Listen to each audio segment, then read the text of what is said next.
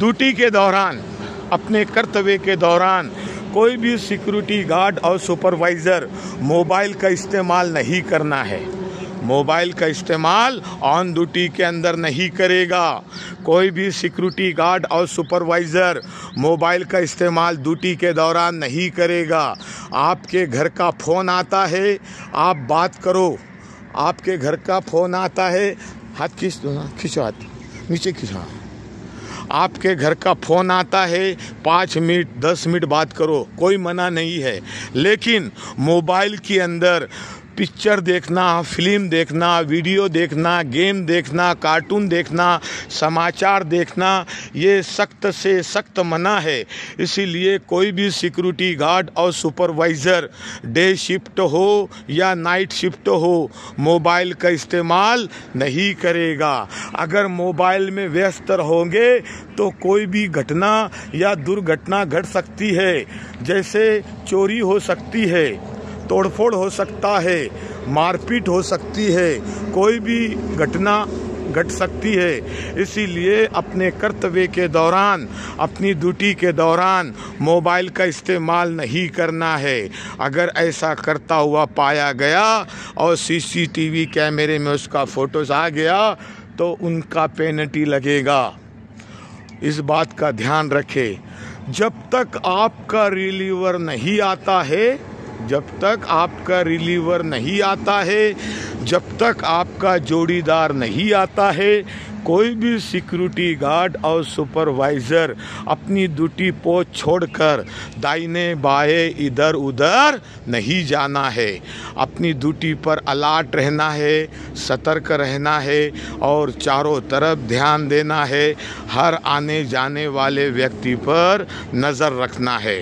इस बात का ध्यान रखें और ख्याल रखें। अपने कर्तव्य के दौरान, अपनी ड्यूटी के दौरान, जो डायमंड विलेज का जो एरिया है, जो क्षेत्र है, उसको अच्छी तरह ध्यान देना है और समय समय पर पेट्रोलिंग करना है, गश्त लगाना है। आपको ये देखना है कि डायमंड विलेज के अंदर कोई भी अनजान व्यक्ति घूमता हुआ या बैठा हुआ नज़र नहीं आना चाहिए। आपको पता होना चाहिए कि डायमंड विलेज के अंदर सख्त से सख्त मना है। गाय, बकरी, भैंस चराना मना है। अगर कोई गाय, बकरी, भैंस चराने आता है तो उसको आप मना करना है, क्योंकि प्रतिबंध है यहाँ पर। को अपने एरिया के अंदर आना प्रतिबंध है, मना है। इसलिए आप उनको मना करना है कि गाय, बकरी, भैंस नहीं चराना है।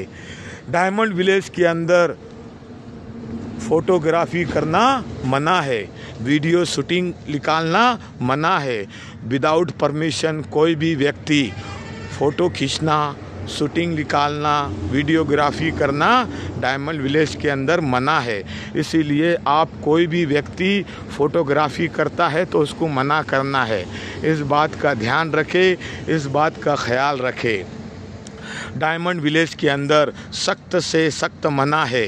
माचिस, बीड़ी, गुटखा, तम्बाकू, लाइटर, सिगरेट, चाकू, छुरी, पिस्टल, रिवॉल्वर, शराब या नशीली वस्तु डायमंड विलेज के अंदर ले जाना सख्त से सख्त मना है।